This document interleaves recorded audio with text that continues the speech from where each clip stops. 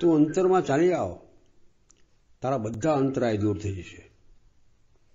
રામદત્તને ઘેર રામકૃષ્ણને બેસવાને માટે એક વિલાયથી ગાલીચો બનાવ્યો.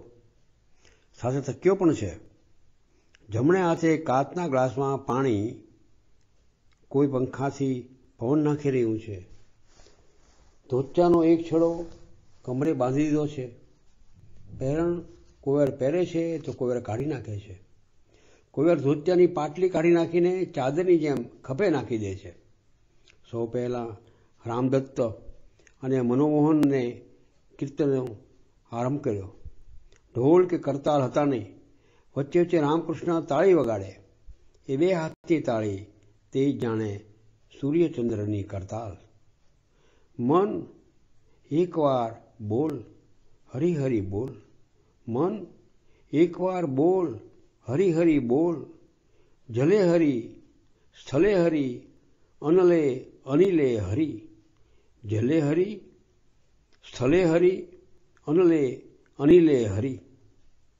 ભાવેશમાં કોઈ વાર રામકૃષ્ણ ઊભા થઈ જાય, નાચવા માંડે, એ નરનૃત્ય નહીં, અમર નૃત્ય. સ્પંદનની સાથે સ્થૈર્ય, જેને કહે સામ્ય સ્પંદન થોડી ક્ષણ પછી તો બિલકુલ સમાધિ અવસ્થામાં ચાલી જાય. સૂર્યમાંથી પ્રવાહ નીકળે, તેમ શરીરમાંથી શક્તિ પ્રસરે છે.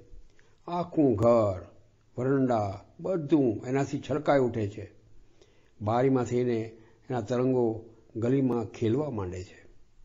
એકવાર વિજય ગોસ્વામીને નાગમાશીએ કહ્યું હતું, અહીં આવીને આંખ બંધ કરીને કેમ બેઠો છે? જો જોવા આવ્યો છે, તો આંખ ખોલીને પ્રાણ ભરીને જોઈ લે.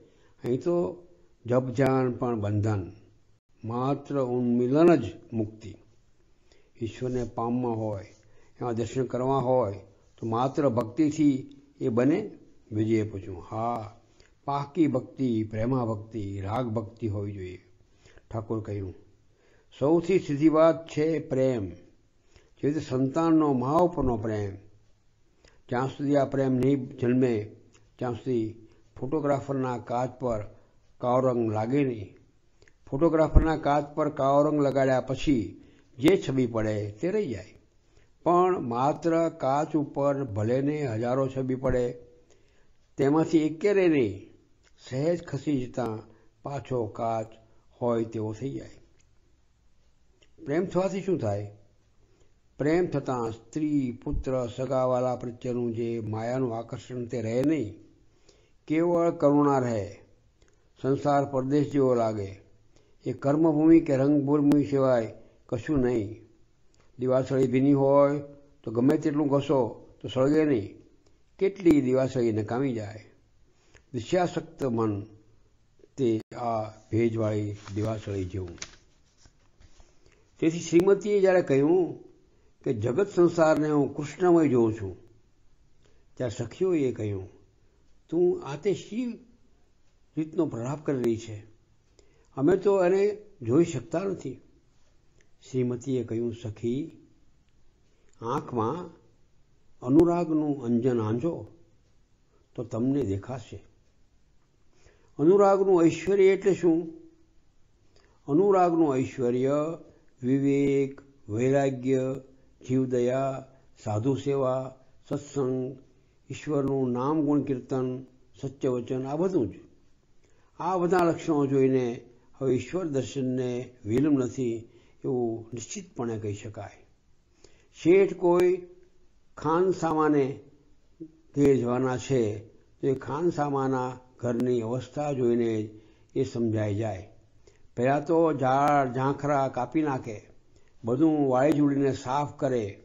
શેઠ પોતે જ શેતરંજી હુક્કો એવી ચાર પાંચ વસ્તુ મોકલાવી દે. આ બધું આવતું જોઈને લોકો સમજી જાય કે શેઠ પધારવાના લાગે છે. પણ ગમે તેટલા પ્રયત્ન કરો, પણ એની કૃપા ન થાય તો કશું બને નહીં. એવો કૃપા ન કરે તો એમને જોવાનું તારું ગજું શું? સર્જન સાહેબ રાતે ફાનસ હાથમાં લઈને ફરે. એમનું મોઢું કોઈ જોઈ શકે નહીં. પણ એ ફાનસના